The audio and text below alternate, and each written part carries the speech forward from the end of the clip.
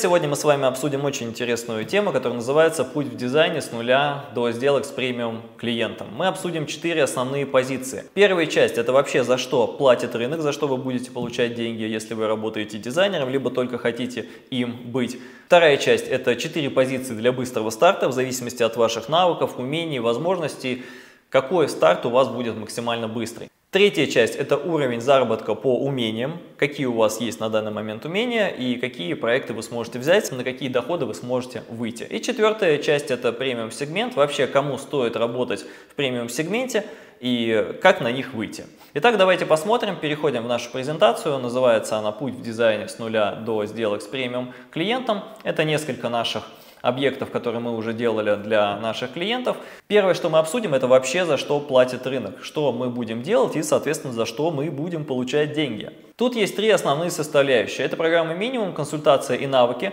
Программа стандарт – это создание дизайн-проектов, как э, эскизных, так и полных. Программа номер три – это комплекс, когда вы не только делаете проектирование, но и сопровождаете клиента на закупках, а также на стройке. Разберем все это сейчас более подробно. Первое – это консультации и услуги. Что это такое? Здесь мы оказываем помощь в подборе консультациях клиенту, если он э, покупает мебель, если он выбирает строителей, если он хочет проконсультироваться по созданию планировки. Это такие базовые навыки, например, это визуализация, чертежи, создание технического задания, либо помощь, обмеры, управление строительством, возможно, можно, либо управление строителями, если это бригада, а также декор. Здесь заработок ваш будет где-то 5-15 тысяч рублей в день, если вы ищете клиента самостоятельно. Это неплохие уже деньги, соответственно, вы можете выучить какое-то одно из направлений и оказывать, получая только на этом направлении именно вот эти деньги. Следующий момент это создание дизайн-проектов. Дизайн-проекты это такие альбомы, по которым клиент работает э, со строителями, с помощью которого он покупает мебель, материалы и вообще реализует то, что придумано по дизайну. И э, за такие альбомы клиент платит. Какие объекты обычно заказывают? Ну, как правило, это либо маленькие квартиры, их большинство от 70 метров, и бюджет работы здесь 3-4 миллиона. Также есть хорошие объекты, это бизнес, клиенты, бюджет 4-15 миллионов рублей, клиент будет готов потратить на обустройство и ремонт. А также премиум сегмент, это 15-70 миллионов. Это очень интересные проекты, похожи на то, что я вам показывал. Какая детализация бывает этих объектов? В принципе, здесь детализация возможна. Это эскизный проект э, до 500 тысяч рублей. Делается он примерно полтора-два месяца. 500 тысяч рублей, в принципе, в одиночку за счет визуализации и правильной планировки можно заработать. Но стандартно на маленький проект это 100-300 тысяч рублей, что тоже, в принципе, неплохо. Полный проект оценивается чуть выше, это от 300 до миллиона рублей, но здесь и навыков нужно побольше. Помимо навыков создания планировки и подбора мебели, визуализации, общения с клиентом, здесь еще могут понадобиться инженерные навыки, навыки управления, навыки коммуникации. Их тоже можно в себе развить, и тогда вот примерно на такие цифры вы можете рассчитывать. 300 миллион рублей за полный проект, особенно это если премиум сегмент. На самом деле цифры бывают даже больше, я на интенсиве покажу вам объекты по полтора миллиона и даже на 3 миллиона, в принципе, это вполне реальные цифры. Делаются они не всегда в одиночку, делаются они в команде, поэтому об этом тоже дальше поговорим. И третья составляющая – это проект целиком, когда мы не только делаем сам дизайн, но и помогаем клиенту его реализовать. Здесь стоимость уже возрастает, и даже на бизнес-классе можно зарабатывать полтора миллиона рублей. Да, это не так быстро, это растягивается на несколько месяцев, но параллельно этому вы ведете еще другие проекты и одновременно поддерживаете на авторском надзоре комплектацию и управление строительством несколько объектов. В принципе, это можно делать даже с помощником. В этом случае ваш заработок будет примерно полтора миллиона рублей за 4-6 месяцев. Если вы осуществляете полный контроль, то есть есть помогаете клиенту не заниматься строителями, а берете на себя все это управление, то можете добавить себе еще 10-15% от стоимости реализации.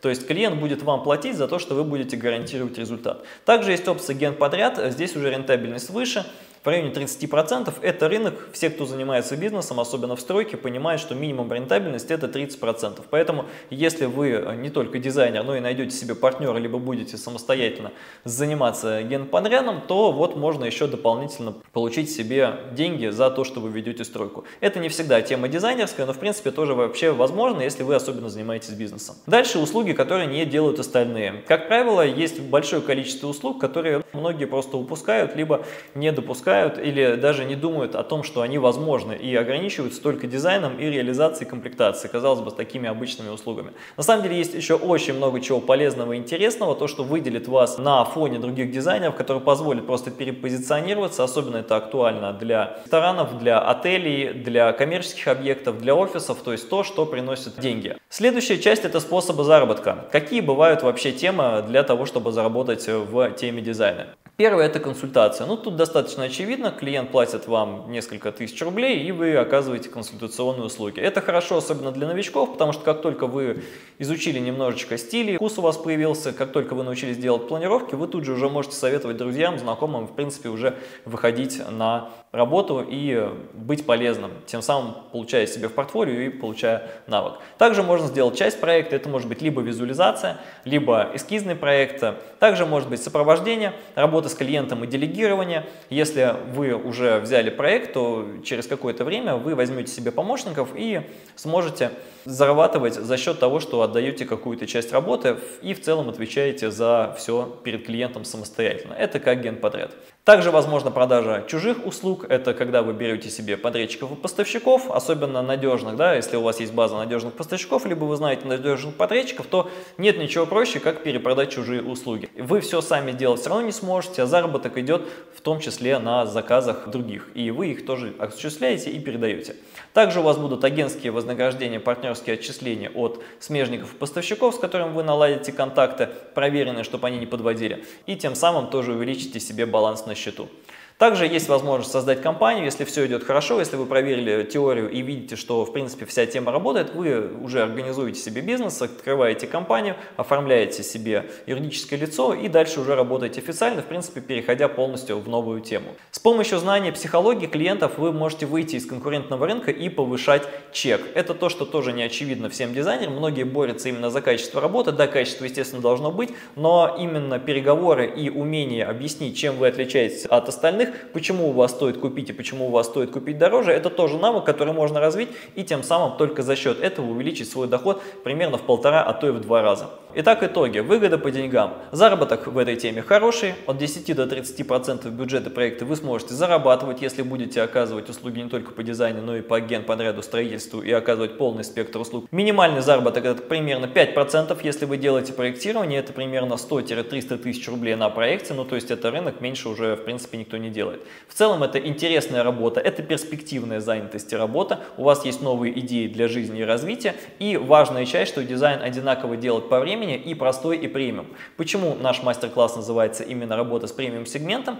Ну, во-первых, потому что там и люди интересны, и объекты интересны, но самое главное, самая основная вещь, что многие в целом не понимают, что все равно, какие объекты делать, если ты делаешь однокомнатную или двух-трехкомнатную квартиру до 70 метров, и если ты делаешь дом, там разница не в два раза по времени. Там нужны другие навыки и просто немножечко по-другому мыслить. Мы вас учим именно мыслить по-другому, таким образом вы тратите в принципе то же самое время, как бы и тратили на высококонкурентном рынке, когда вы работаете с однокомнатными, двух-трехкомнатными квартирами до 100 метров, где очень большая конкуренция, вы можете выйти, в принципе, из конкуренции и работать в том сегменте, в котором мало кто умеет работать. Выбор, с какими клиентами работать, это самое важное, потому что с самого начала нужно тренироваться именно на тех клиентов, с которыми вы хотите работать в дальнейшем. Такое есть правило. Итак, мы подобрались с вами ко второй части. Эта часть у нас сейчас будет про вас. Мы обсудим четыре основные ситуации, в которые идут в профессию дизайнера. И эти ситуации у нас будут совершенно разные, но их будет объединять одно, то, что вы хотите стать дизайнером. И то, что у вас еще не до конца сформированы все навыки, которые нужны. Сейчас мы обсудим разницу. Есть четыре основные позиции, которые я сейчас дам рекомендации, советы и как вам прям стартовать. Итак, первое это новичок.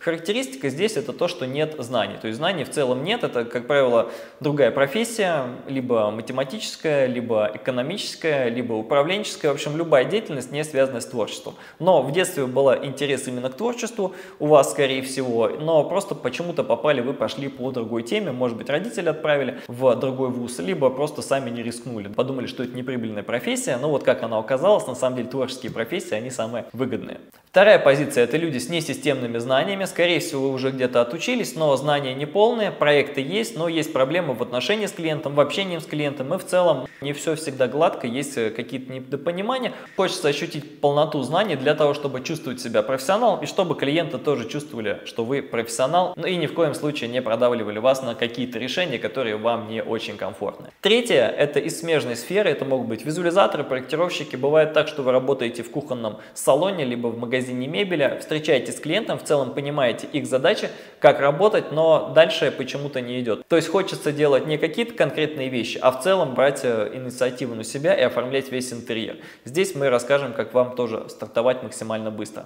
И последняя, четвертая тема – это сам себе дизайнер. Когда у вас есть дом или квартира, тема дизайна вам нравилась достаточно давно, и вы подумали, а зачем я буду нанимать дизайнера, да, если я сам или сама смогу стать дизайнером и в целом освоить эту профессию, сделать себе дом и может быть даже потом сделать ее своей работой и помогать друзьям и коллегам. Профессия дизайнера это очень качественная, очень счастливая жизнь, если вы делаете все правильно. И работа с премиум сегментом, работа с качественным бизнес-классом, с уважением, с хорошими партнерами, с хорошими коллегами, это всегда очень-очень хорошо, в том числе для вашей жизни, для вашей самооценки. То есть для меня это профессия мечты. Почему? Потому что она обеспечивает абсолютно все сферы жизни. И экономические, и эмоциональные, творческие, и интерес саморазвития. Экономические профессии дизайнера можно очень хорошо зарабатывать. Выше мы посмотрели примеры. Это рынок, кто-то получает такие деньги, и кто-то на них работает. То есть если делать все правильно, если выходить на рынок с умом, если последовательно, пошагово строить свою карьеру так, как надо, у вас будет э, абсолютная финансовая независимость и для себя, и для своей семьи, и для своих